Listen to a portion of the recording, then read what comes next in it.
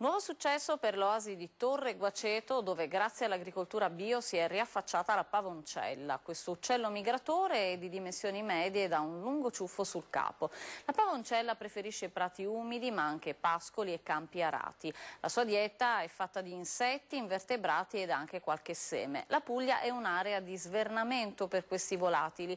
Il loro arrivo è sempre concomitante con il sopraggiungere delle temperature rigide.